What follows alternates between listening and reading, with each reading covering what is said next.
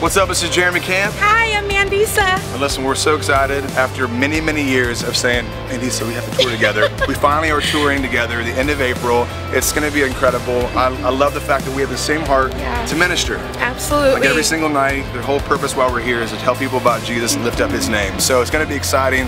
She radiates Jesus, it's gonna be rad. Finding Favour is gonna be with us. So we're excited to see you guys. The end of April we start. Love you, see you there. See you soon.